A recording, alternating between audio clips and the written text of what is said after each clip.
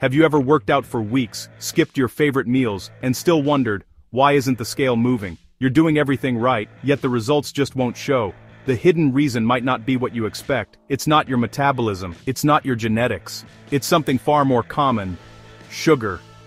Sugar doesn't just make food taste sweet, it controls how your body stores and burns fat.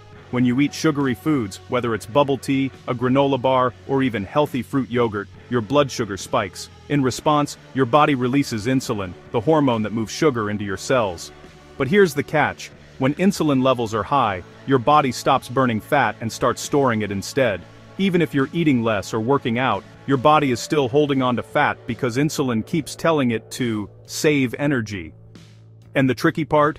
Sugar hides everywhere. A cup of flavored yogurt can contain up to 20 grams of sugar, that's about 5 teaspoons. A single glass of bubble tea? Nearly 90 grams, over 18 teaspoons, even 100% fruit juice, which sounds healthy, is packed with fructose. A sugar that your liver struggles to process, often turning it into fat.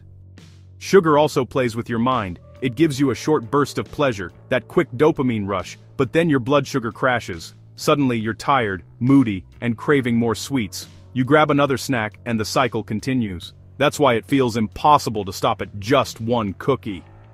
Many people try to escape this by switching to artificial sweeteners, sugar-free, zero-calorie drinks, and diet snacks, but research shows that sweeteners like aspartame or sucralose can still trigger cravings and even cause insulin spikes without real sugar.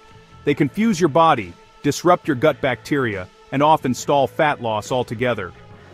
Cutting sugar isn't easy, your body will resist at first. You might feel tired, irritable, even sluggish for a few days, but then something incredible happens, your energy stabilizes, your sleep improves, your skin clears up, and your belly fat begins to melt away. Science backs this up. Understood bucks was to sign done. Studies have shown that people who reduce added sugars can lose up to twice as much belly fat in the same time frame as those who don't. You don't have to quit sugar overnight. Start small, swap soda for water with lemon, replace candy with berries, read labels, skip anything ending in O's or labeled as syrup. Each small choice matters.